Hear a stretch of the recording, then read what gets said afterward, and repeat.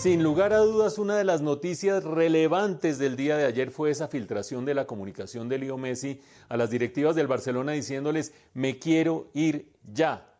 Eso para hinchas como yo, aquí no hablo ni como experto, como puro hincha estrictamente, significa el presagio del final de una era, o casi el final de una era. ¿Por qué?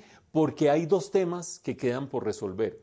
El primero es un tema de tipo jurídico los abogados de Leo Messi dicen, el contrato de Messi dice que si avisa con suficiente anticipación que se quiere ir, se puede ir rescindiendo el contrato unilateralmente. Y en el Barça le dicen, sí, esa cláusula existe, efectivamente. Pero avisar con anticipación era haber avisado el 30 de junio, no a estas alturas. Todo el mundo dice, bueno, pues sí, los términos del contrato dicen, y entonces el 30 de junio era la fecha, y qué sé yo.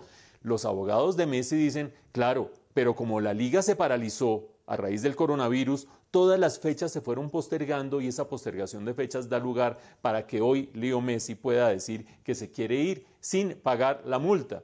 Y ustedes dirán mientras desayunan, bueno, ¿y de qué multa estamos hablando?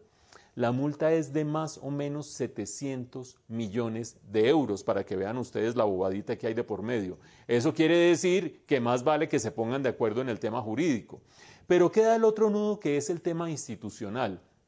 De todas las cosas que le pueden molestar a Leo Messi, incluido el mal rendimiento del Barcelona en los últimos años, la que quizás más le molesta es esa confrontación que tiene con los directivos del Barcelona, en concreto con aquellos que están liderados por el presidente actual, con José María Bartomeu, que es en últimas el que ha decidido que se vende Neymar cuando Messi no quería que se vendiera Neymar, que se fuera Valverde cuando, Valverde cuando Messi no quería que se fuera Valverde del Banco del Barcelona, que llegara Koeman ahorita cuando no le gusta a Messi que, que esté Koeman, y fuera de eso que ahora, por ejemplo, se vaya Lucho Suárez también. Ese tipo de decisiones incluido el que la llegada de Griezmann se le mantuvo oculta a Messi durante un buen rato, todo eso ha generado ese pulso de poder entre la estrella del Barça y el presidente del equipo. Y hay quienes dicen que el pulso es tan grande y la animadversión tan manifiesta que si se llega a ir Bartomeu en este momento, Messi dice, gané, me quedo y ahora sí no hay problema con el Barça y sigo para adelante. Vamos a ver cómo se resuelve eso. Pero yo personalmente, como hincha del Barça, cualquiera diría que uno dice que se quede Messi, que se vaya Bartomeu. No me importa si se va Bartomeu o no.